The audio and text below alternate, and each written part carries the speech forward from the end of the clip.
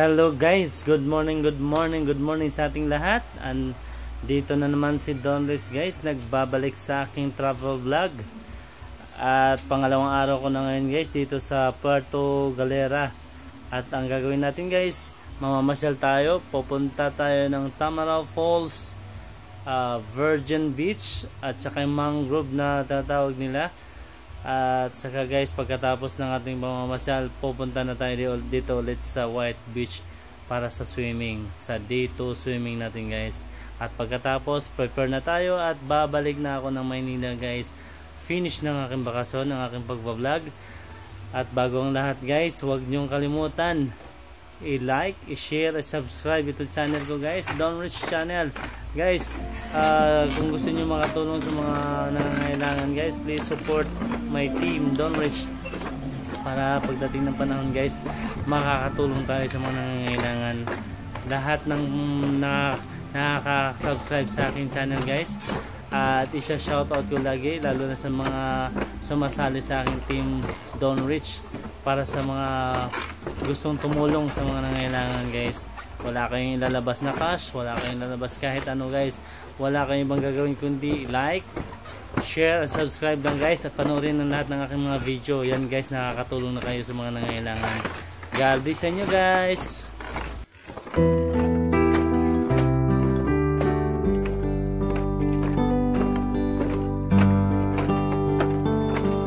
Be kind to one another and don't give in to fear. That's all that I am asking for for Christmas time this year. Had Thank you. Te, anong sakop ng barangay to? Ah, Barangay Tabinay po. Barangay Tabinay Opo. Sitio Sigayan, Barangay Tabinay. Sitio Tigayan Sigayan Barangay Tabinay. Tabinay Yes. Puerto Galera ba?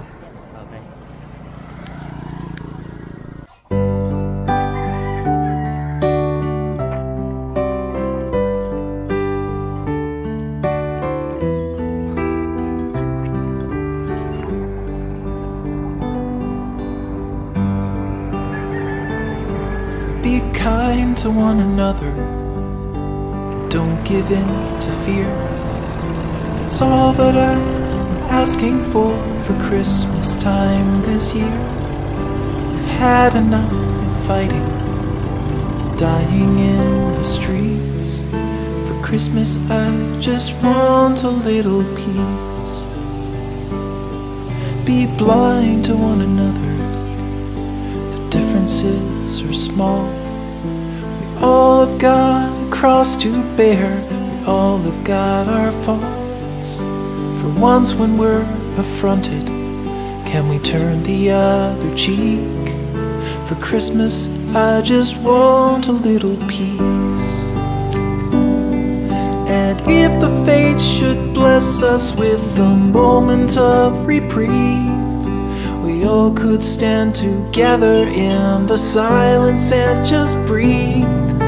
Rejoice for all the happiness, mourn for all the grief. It's all that I am asking for this lonely Christmas Eve.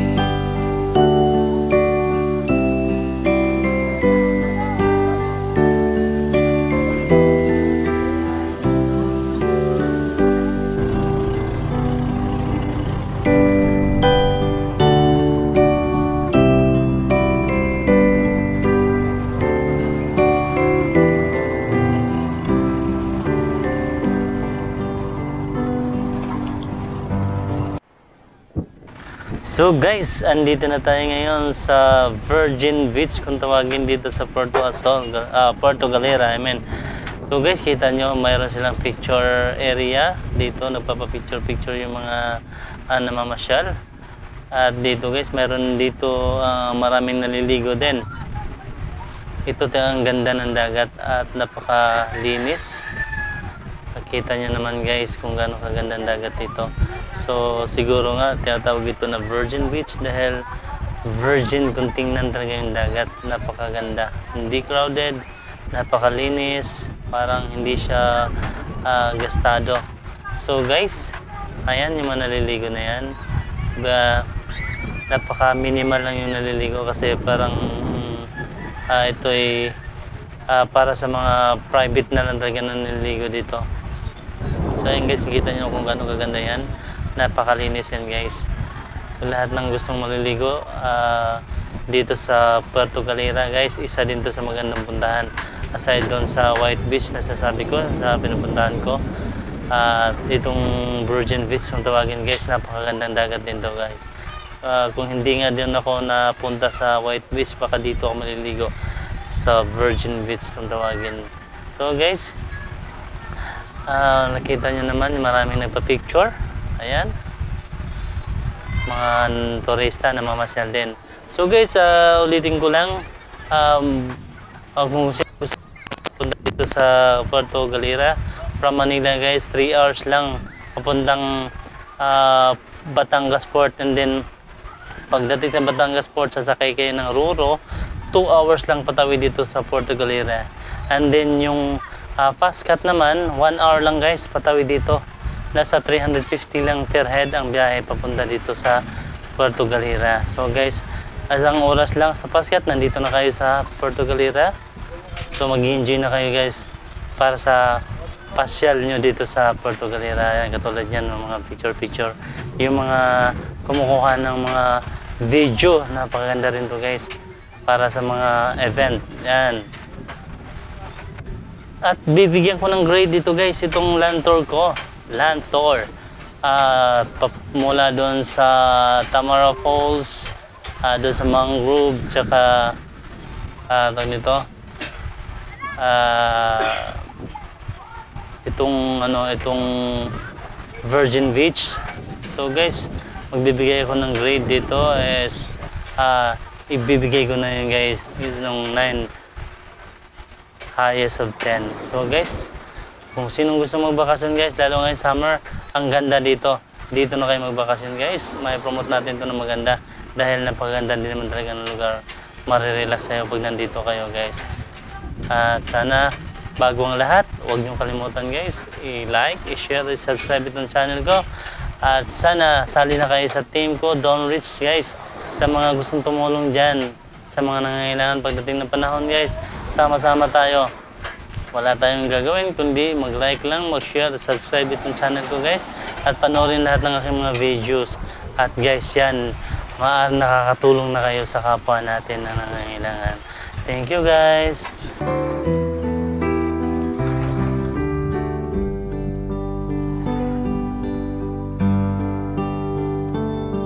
Be kind to one another and don't give in to fear. That's all that I am asking for for Christmas time this year. We've had enough of fighting and dying in the streets. For Christmas, I just want a little peace. Be blind to one another the differences are small. We all have got a cross to bear, we all have got our faults. For once, when we're affronted, can we turn the other cheek? For Christmas, I just want a little peace. And if the fates should bless us with a moment of reprieve, we all could stand together in the silence and just breathe. Rejoice for all the happiness, mourn for all. That's all that I am asking for this lonely Christmas Eve.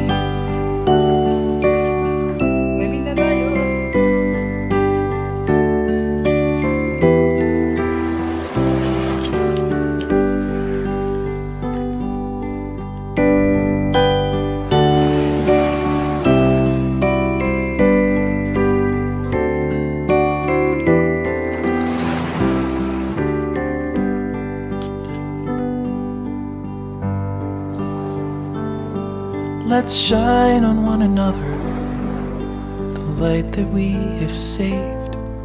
So jealously we've guarded for the coming rainy days.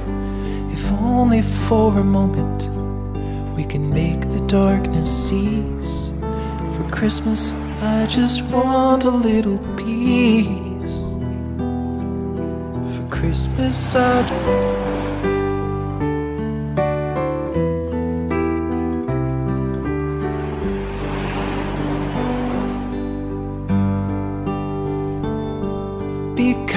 to one another. and Don't give in to fear.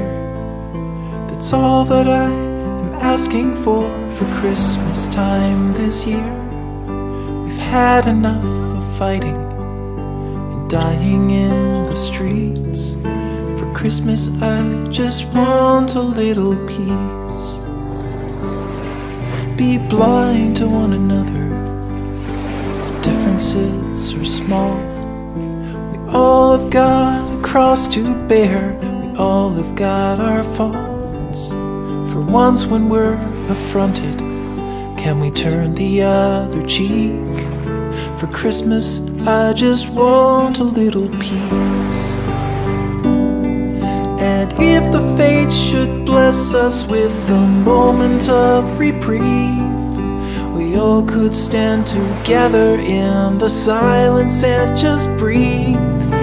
Rejoice for all the happiness, mourn for all the grief. It's all that I am asking for this lonely Christmas Eve.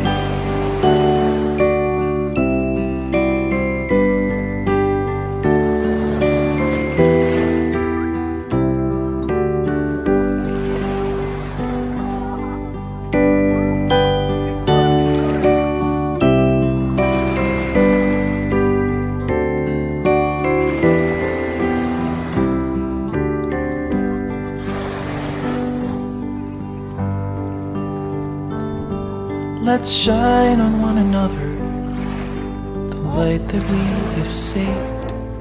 So jealously we've guarded for the coming rainy days. If only for a moment we can make the darkness cease. For Christmas, I just want a little.